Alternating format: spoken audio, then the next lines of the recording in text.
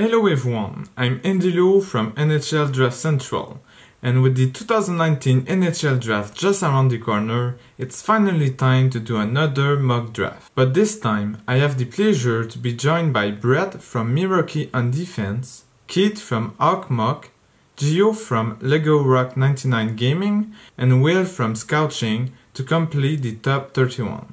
As we simulate the first round, we'll each take our respective team GM job and select who we think is the best fit for the organization.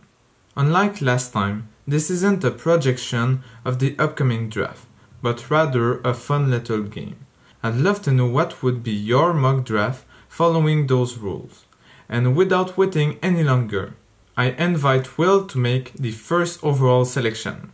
So the first overall draft pick in the 2019 draft is the uh, New Jersey Devils, and I'm taking Jack Hughes. Honestly, just has to have the most upside out of any pick in the in the draft. I can understand the argument uh, around taking Kaapo Kakko, but just in terms of you know being a center, such an excellent skater, excellent guy in transition. There's no, to me, there's no real discussion to have. There's a little bit of a discussion to have about maybe who's better immediately, but I just think that you got to swing on upside when you're drafting first overall. Guys like Jack Hughes don't come along very often, so that's the guy at number one for the Devils. Um, so with the second pick and easily the, the the least difficult, I had to make up my mind for my picks. Um, the second pick has to go to uh, for the New York Rangers. And first of all, let's just talk about the amazing year he's had so far. He's fourth all time in points per game in the Liiga uh, for U18 players, and second in goals, only to Sasha Barkov. Uh, won a World Juniors, had the game, had the tournament winning goal in the World Juniors, and also won a World Championship gold. Can't think of too many players that have done that, if any, uh, and was a top player in both, which is uh, no easy feat for any young player, let alone someone in his draft year. Um, so he, he really just blends a, a really nice combination of size, skill, and elite hockey IQ. And I think he's really self aware and self confident in who he is as a player. And um, it really allows him to play to those strengths and allows him to be consistent. And against men, he's already comfortable holding on to the puck, and he doesn't just make the right play, but it's it's very often the better one. And especially when the ice shrinks to one third of the ice in the offensive zone, he's absolutely elite. Um, so I think he's going to make an impact right away for the Rangers. With the third overall pick in the 2019 NHL entry draft, the Chicago Blackhawks are pleased to select Vasily Podkolzin out of Russia. Obviously, Podkolzin has offensive gifts that just can't be taught, and he has some of the best offensive skills in this entire draft class. At this point, uh, toward, as we're getting closer to the draft itself, I've seen names penciled in here at this spot like Alex Turcotte or Bowen Byram, but to me, for the Blackhawks to have moved up nine spots in the draft lottery to the third overall spot here, they're not in the same kind of desperation draft pick mode that necessarily, you know, the LA Kings would have been or the Detroit Red Wings would have been. So at this point, you can really flex and you can kind of take whoever's there that you kind of see as a future high end prospect in your system. I see a lot of really high end upside with this pick, and I don't think Chicago necessarily has to rush into putting him into their system, but still have a very, very, very valuable piece for the future. So again, right here, I'm taking Vasily Podkolzin third overall. With the fourth overall selection, the Colorado Avalanche are proud select from the NTDP Alex Turcotte. The 5'11 center is a complete two-way forward who plays in all situations. He has a great top speed and quick hands that helps him play at high speed. He can drive his line offensively and create many controls on entries. He owns some high-end puck skills and he makes his way through traffic with ease. He is versatile offensively thanks to his good vision and quick release. He isn't afraid of board battles and can hold his own against tougher opponents. He stays responsible defensively and is quick to come back when needed. The best two-way center of the draft in my opinion. Bowen Byram was also a great option at fourth, but you simply can't miss with Turcotte. Speaking of Bowen Byram, with the fifth overall pick, the Los Angeles Kings select from the Vancouver Giants, Bowen Byram. The best defender of the 2019 NHL draft, he seemed to get better as the year went on. Finishing off with 71 points in 67 games played, Byram was the top defender on a young Vancouver Giants team, and he led the WHL playoffs in scoring. That's something a defender has never done before. Byram is gifted offensively, He's great and dynamic, fluid skater, and he's got to work a little bit more on his defensive game going into the next level, but he's got all the tools to succeed as a number one defender in the NHL. Playing for the Los Angeles Kings, he's been kind of labeled as a guy who models his game after Drew Doughty, so that's a little bit of a fun comparison there to make as they will be teammates going forward. But Byram, he's got top line potential, and he's going fifth overall to Los Angeles. With the sixth overall pick in this year's NHL draft, the Detroit Red Wings are taking Kirby Dach from the Saskatoon Blades. Honestly, if you remove a relatively large portion of the season this year, he was one of the hottest hottest scoring forwards for the Western Hockey League. Honestly, I got to think he has probably the highest upside in this draft outside of the top two. If he can hit his gear on a more consistent basis, he could be one of the most devastating centers to come out of this draft. Now, the Detroit Red Wings already have someone named Dylan Larkin on their team, and the idea of Dylan Larkin and Kirby Dach playing on the same team down the line, there was a lot of different options that you could go with, but the combination of size, skill, the amount of ease with which Kirby Dach plays the game, you know, it just takes it a long way for me. So I think that someone like Dach is going to be a great fit in Detroit, a real high skill program that's done a great job drafting recently. So I really do think that there were other really good choices around here, but if I'm swinging for the fences, I'm going for Kirby Dach. So at seven, um, I think Buffalo has, like we talked about in the chat, uh, Buffalo has a lot of work to be done. When you have a chance to take a player who I think has a truly special skill set, that that makes him the BPA here, and for me, that has to be Cole, Cole Caufield, who is truly a, I don't want to say a trans, transcendent scorer, but his his scoring toolkit is really what entices me here at number seven. So already the uh, US goals record all time. When we look at what it takes to be an elite NHL scorer, you first and foremost have to have a, a high hockey IQ, uh, being able to go to the, to the open spots of the ice. Uh, if you know uh, whether or not to pass off and find a better option to get the puck back for a better uh, shot attempt. Um, so I really think the high hockey IQ is there for Caufield. And then when you look at scores in the NHL that put up 35, 40 goals. You're either a high volume shooter or you have some trait in your shot that makes it elite. And to me, Caufield has both of those. Um, his shot comes off of his stick like a slave shot. It's unreal. The, his ability to get his shot off accurately and hard is is some of the craziest things I've, I've seen, to be quite honest. And um, as far as high volume shooting goes, he was second on the US NTDP with 4.6 shots per game. Will be interesting to see how that translates into higher levels of hockey. Um, but he's, he's definitely shown that shooters got to shoot, and I think Cole Caufield is has the opportunity to be an amazing goal scorer in the NHL. With the 8th overall pick in the 2019 NHL entry draft, the Edmonton Oilers are pleased to select Dylan Cozens. Now, if Cozens wasn't on the board, I might have taken somebody here like Peyton Krebs, who did a lot with very little around him this season, which is something that Edmonton could really use because they're so hot and cold on offense per night. But right here, the fact that Dylan Cozens is still on the board, it means that Cozens fell into Holland's lap. Ken Holland doesn't like to move up in the draft. He doesn't like to move back. He just kind of likes to stay put, and he, you'll find good talent on the board regardless of where he's at. And the fact that Cozens is here, a true kind of power forward with a really high end offensive game, fast north south speed, good 200 foot player.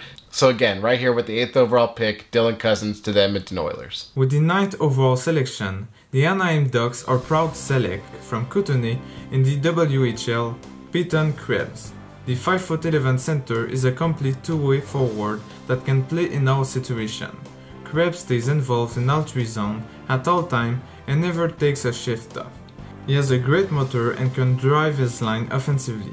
He has a great vision and he is versatile in the offensive end. His 19 goals and 68 points in 64 games might be underwhelming for some, but are still pretty impressive knowing his team had difficulty scoring all season. I believe he can become a number 1 center or a great number 2 center at the NHL level. Similar playstyle to Jonathan Toews. Not only do I think Krebs is the best player available at this point, but he also fit nicely into Anaheim's style of play. With the 10th overall pick in the NHL entry draft, the hometown Vancouver Canucks are proud to select Trevor Zegras. Zegras is a player who a lot of Vancouver fans most likely wouldn't have thought would have been available at this spot, but Zegras is an elite offensive mind who's able to playmake like there's no tomorrow. A guy who was second in the US NTDP in assists and third in points overall, he has been playing with Jack Hughes on quite a bit of lines on the power play, etc., and his playmaking ability is really good, especially with that patented behind the back pass. He's a smart player, offensively gifted, and playing him alongside of Pettersson and Boeser as a left winger or as a center down the line on a power play is going to be really great for the city of Vancouver. With the 11th overall pick in the NHL draft, the Philadelphia Flyers are taking Alex Newhook.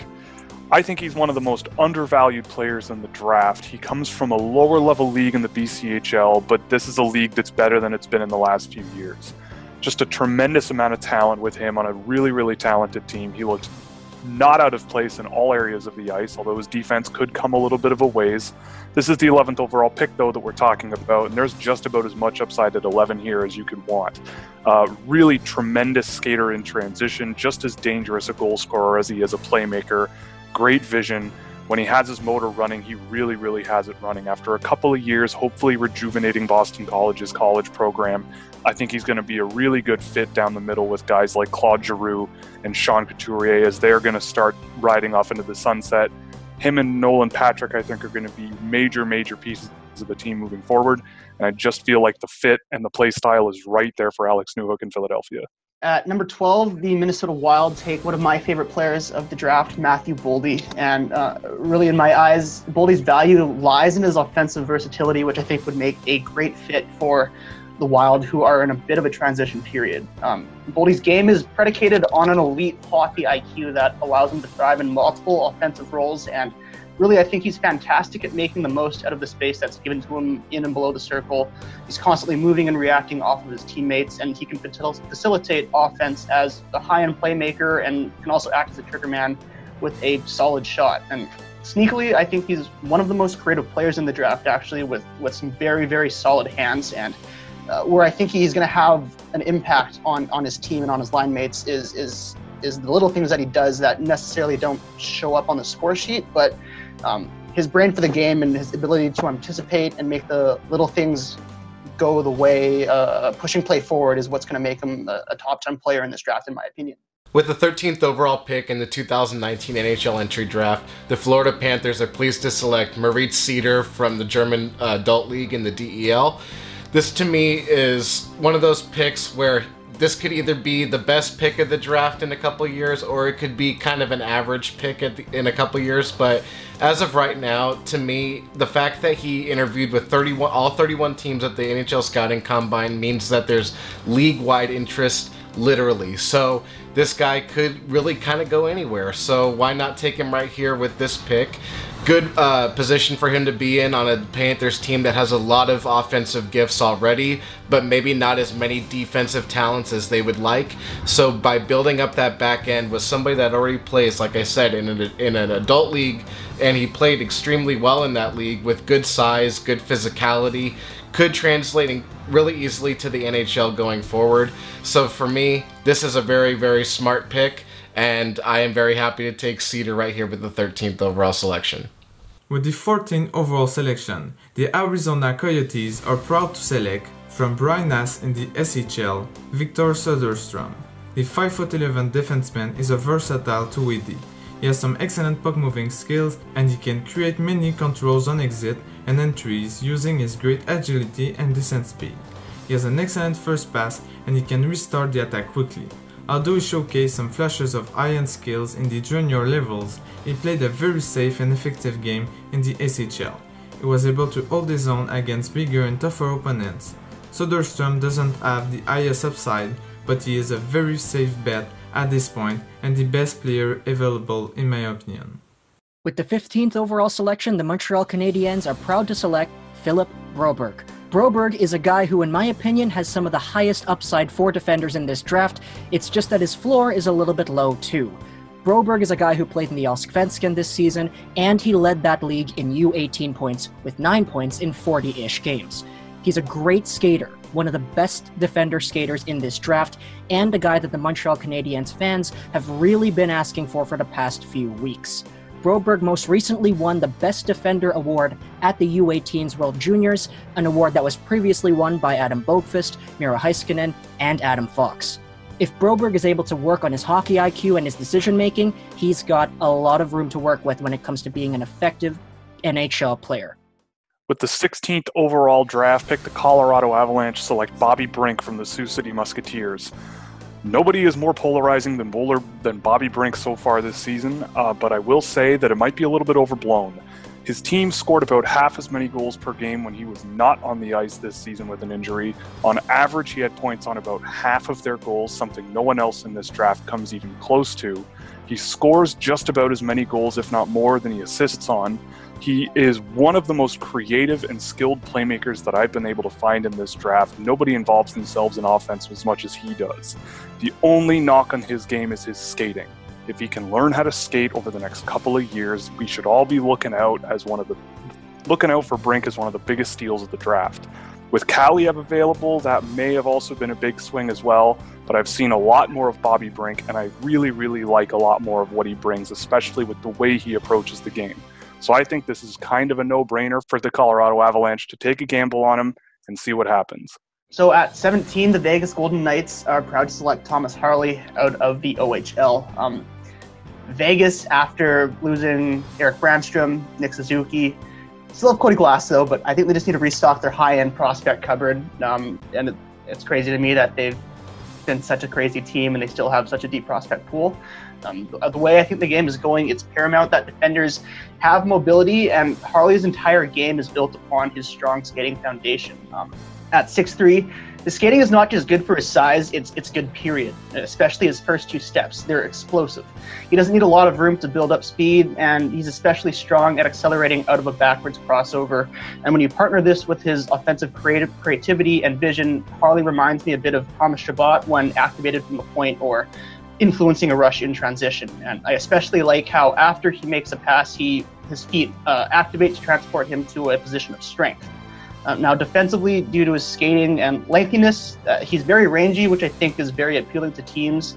Although I think he sometimes relies a bit too too much upon those skills, but um, and when those are coupled, he's very mistake prone and will have to be something he'll have to improve on with maturity. But remember, he's he's barely eligible for this draft. With the 18th overall selection in the 2019 NHL entry draft, the Dallas Stars are pleased to select Ville Heinola from Finland and the Finnish Liiga. To me, if you're Dallas and you're looking to just keep building up, you know, best player available type situations, to me this makes the most sense. He, Heinola is currently ranked by NHL Central Scouting as the fourth best European skater, so you know, there's definitely a lot of upside in in their ranking system uh, compared to, like I said, some draft boards that are out currently. He's a bit undersized, but he did play about 20 minutes uh, a game in the Finnish Liiga. He did put up a handful of points, and it looks like that could translate pretty quickly to the pro level here in North America. So again, right here with this pick, I'm taking Vinny Heinola, 18th overall by the Dallas Stars. With the 19th overall selection, the Ottawa Senators select from Barrie in the OHL, Ryan Suzuki. The 6-foot center is a tremendous playmaker. He has an amazing vision and he sets up partners with such ease. His trademark cross-ice passes are always very dangerous offensively. He has an high hockey IQ and he reads the play very quickly. He is creative with the puck and can be really deceptive. He's also an excellent skater and puck handler.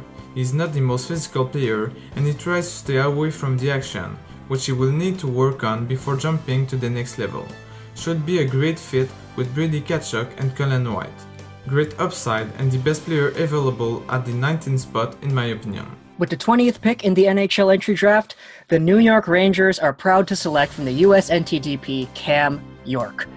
Now, after they drafted Kaapo Kakko second overall, the Rangers are available for a defenseman, and Cam York is the best one on the board in my opinion a guy who was the number one quarterback on the US NTDP, playing with guys like Jack Hughes and Cole Caufield, He was the highest point producer for a, for a D-man on that team. He was over a point per game, and he's following in the steps of guys like Zach Werenski and Quinn Hughes, going to the University of Michigan come the fall. Cam York is an offensive, dynamic defenseman who's engaged at all areas of the ice, always getting into the play, always blocking shots. He plays with a high gear all the time, and the Rangers are going to really like a York and a Fox pairing going into their future. With the 21st overall selection in the NHL draft this season, the Pittsburgh Penguins select Philip Tomasino from the Niagara Ice Dogs.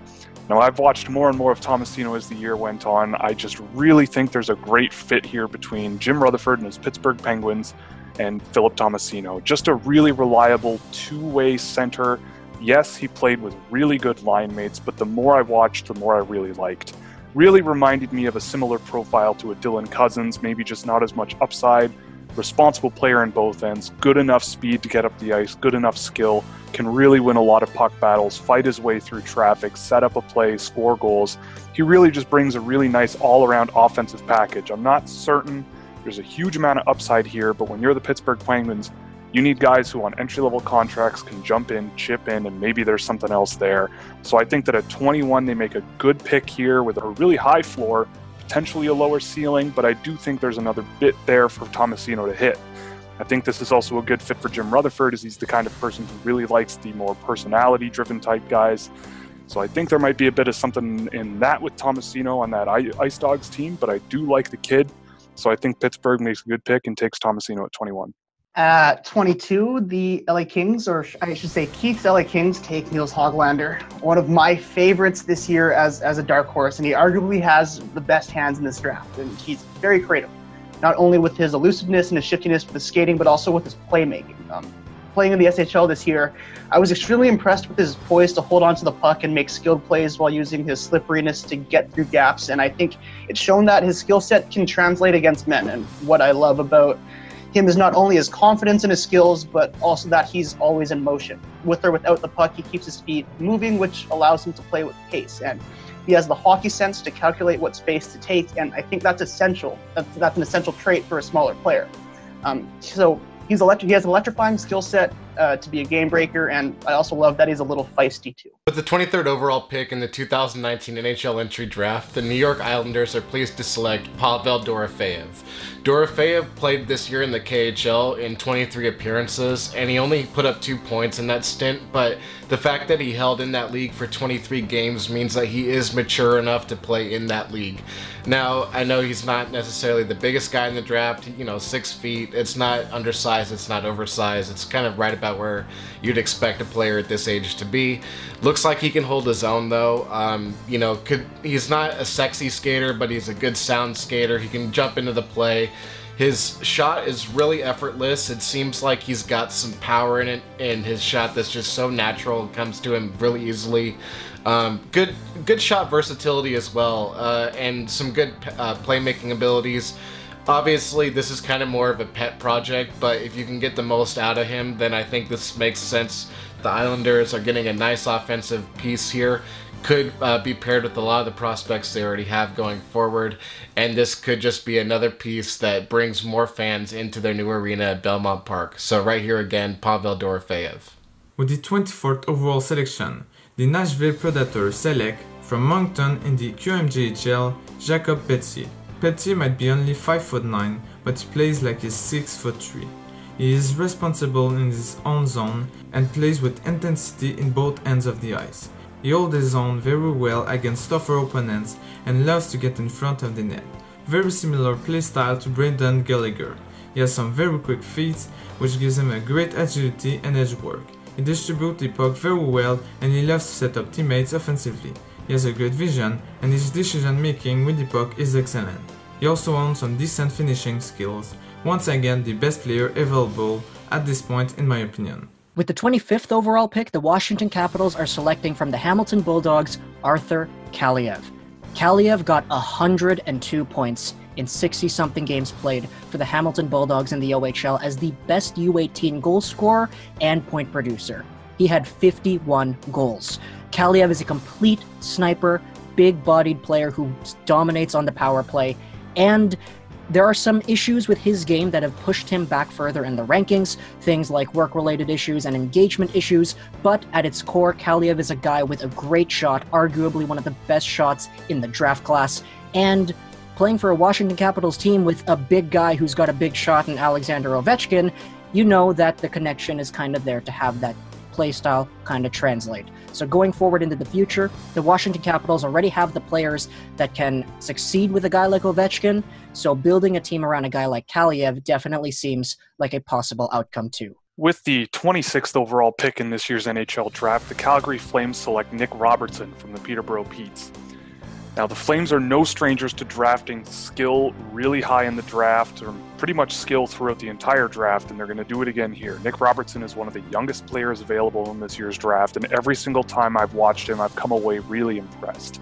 He really reminds me of like a Ryan Suzuki profile, just a really raw playmaker who can move really well with tremendous amounts of skill. I think Nick Robertson has the potential to be one of the biggest steals to come out of this draft relative to where he's going to be picked. And I think the Calgary Flames are the perfect fit. They love those high skill guys. They're going to let them gestate, they're going to let them grow.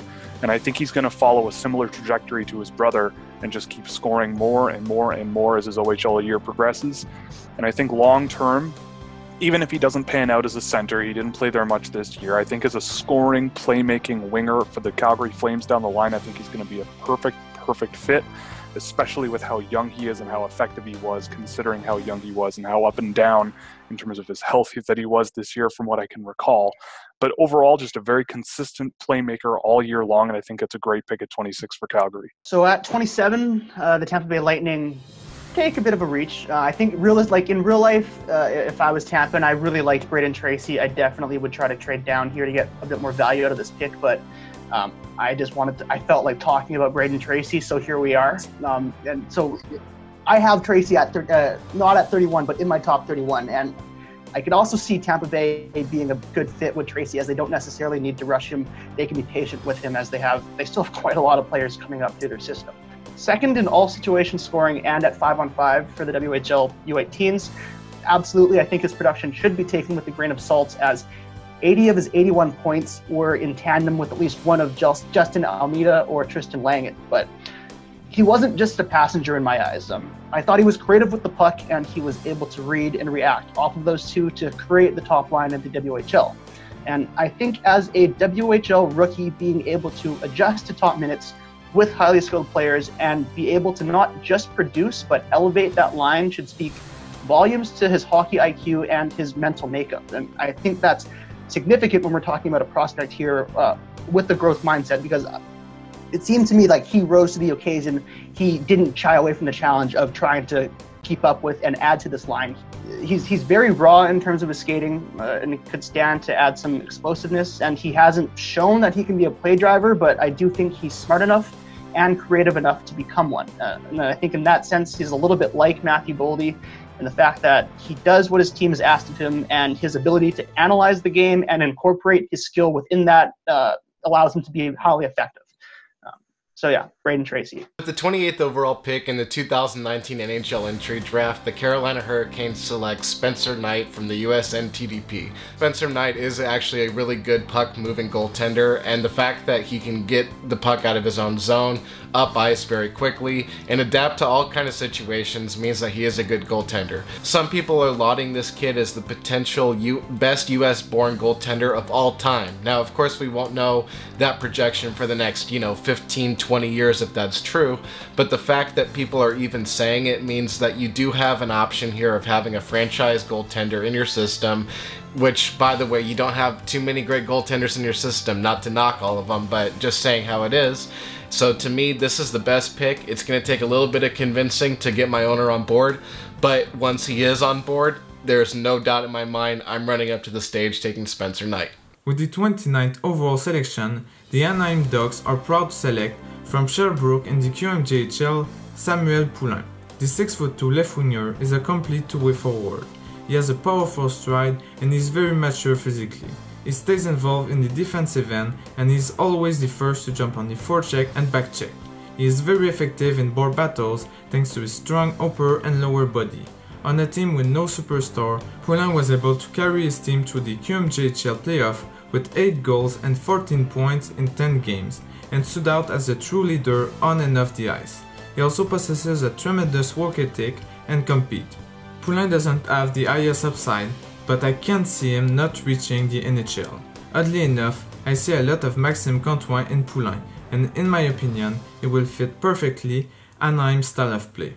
Quick disclaimer, as we're shooting this video, the Stanley Cup finals are not yet finished, so the 30th and 31st pick are still up to grab.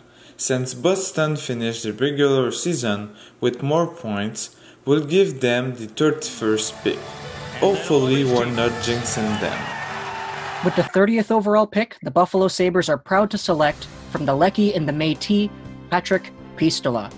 Puistola is a young Finn who didn't have an NHL comparable because he played in Finland's second highest tier league. He wasn't in the Liiga full time, but his time in the Mestis was incredible, putting up over a point per game and dominating that stage. He really put eyes onto him at the World Under 18s, getting five goals in five games, and he's a guy who's risen up the draft rankings quite a bit heading in towards the draft.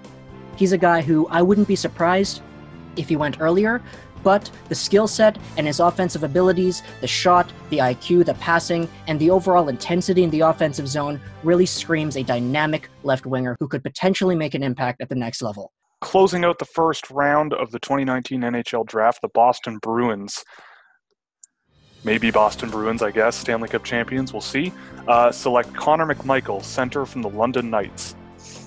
Now, I've seen a lot of McMichael, and I really love the offensive part of his game. He plays really smart in the offensive zone. He has a lot of speed, but doesn't always need to use it to his advantage.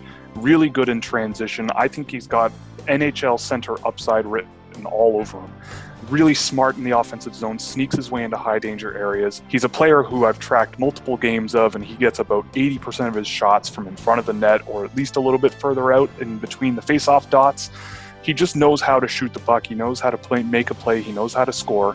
He knows how to just play an all-around offensive game. And as the defensive intensity can get a bit more consistent, game in and game out, and shift to shift, I think he's going to be a really dangerous two-way player. But at the very least, he's going to be a great middle six center that I think you can rely on in a number of different offensive situations. Thank you for watching. I strongly invite you to check out Brett, Keith, Will, and Gio on their respective platform. They all make amazing content and you'll definitely enjoy it. I'll put links in the description and comments below.